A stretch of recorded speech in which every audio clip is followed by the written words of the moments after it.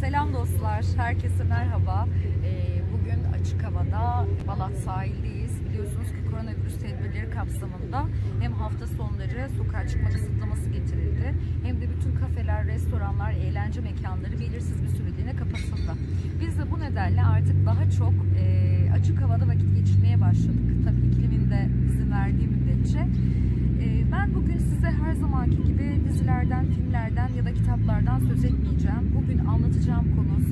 kişisel, tamamen benimle ilgili. E, koronavirüs sürecinde, pandemi sürecinde tamamen haksız yere bir anda işten çıkartıldım.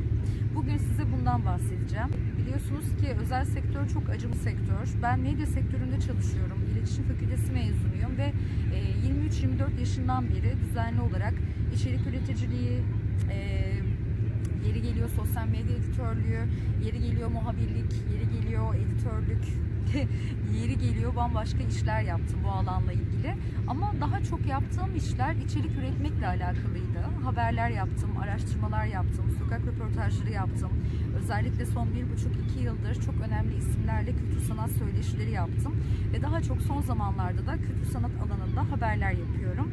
Ee, şimdi koronavirüs sürecine geri dönecek olursak en son çalıştığım kurum adını vermeyeceğim. Çok popüler bir yer değil, çok kurumsal bir yer değil ama e, adını aslında size söylersem hemen aklınızda bir çağrışım uyandırabilecek bir yer. E, bilinen eski köklü bir yer ama çok çok da ivme kazanmış bir yer değil. Dışarıdan bakıldığında kurumsal bir imaj çiziyorlar ama içine girdiğiniz zaman iş bambaşka. Çalışanlarının kesinlikle hakkını vermeyen ve onları sonuna kadar sömürmekten çekinmeyen bir kurumda tam da koronavirüs sürecinde hiç beklenmedik bir anda yüzüstü bırakıldım ve işten çıkartıldım. Biliyorsunuz ki Mart ayında e, zannedersem 11 Mart'taydı Türkiye'ye ilk defa koronavirüs vakası tespit edildi. Hemen ardından bütün kafeler ve restoranlar kapatıldı. Yaklaşık 1-2 hafta sonra da hem özel sektörde hem de kamu sektöründe evden çalışma ve bununla birlikte yarı zamanlı çalışma getirildi. Bizim iş yerimizde koronavirüs ülkeye girdikten 2-3 hafta sonra evden çalışmaya geçti.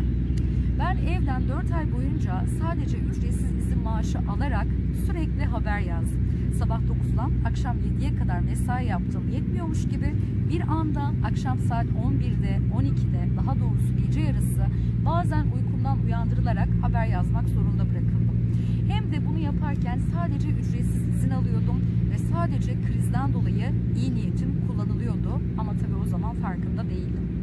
Ondan sonra bu 4 aylık süreç bitti. 4 ay boyunca kendime ayırabileceğim, evde geçirdiğim bütün vakti diğer işlerimle birlikte aynı zamanda sadece ücretsiz izinle çalıştığım bu kurum için harcadım. Ardından biliyorsunuz ki 31 Mayıs'ta daha doğrusu 1 Haziran'da bütün e, tedbirler bir anda kaldırıldı. Yeni normal döneme geçtik. Kafeler, restoranlar açıldı. Kamu ve özel sektörde yeniden ofislere dönüldü. Bu süreçte, bu ofise dönmem gereken süreçte bir telefonla arandım ve ofise çağrılma zahmetinde bile bulunmadan koronavirüsün yarattığı ekonomik kriz bahane gösterilerek işime son verildiği söylendi. Ve ben o ekonomik kriz sürecinde bir anda işsiz kaldım. Şimdi arkadaşlar bizim yani benim aslında bunu bu kadar detaylı anlatmamın nedeni size şunu söylemek istiyorum. Evet medya sektörü çok acımasız bir sektör ama özel sektör aslında genel olarak böyle.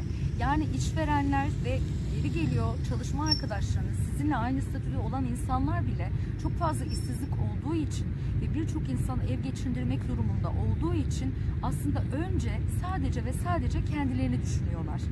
Yüzden diyorum ki hiçbirimiz birbirimizi, kendimizi daha doğrusu bir kişinin ya da bir kurumun vicdanına bırakmayalım.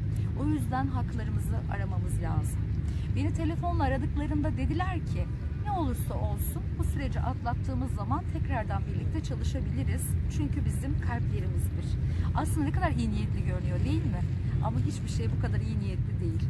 Yani beni o süreçte haklarımı gasp ederek, haklarımı tamamen ihlal ederek çalıştırdılar ve bu zorlu süreci birlikte atlatabileceğimize inandırdılar. Bir şekilde beni bu iyi niyete inandırıp kandırdılar. Bu benim saflığım ama biliyorum ki bu saflığı birçok insan yapıyor. O yüzden artık kesinlikle bu iyi niyetli söylemlere önce bir tedbirle yaklaşmaya karar verdim. Size de tavsiyem budur. Özel sektör gerçekten çok acımasız ve herkes önce sadece ve sadece kendini düşünüyor. Bu yüzden hiçbir zaman vicdanınızı e, daha doğrusu kendinizi, kendi işinizi bir kurumun ya da bir kişinin vicdanına, iyi niyetine bırakmayın diyorum. Bir dahaki videoda görüşmek dileğiyle. Hoşçakalın.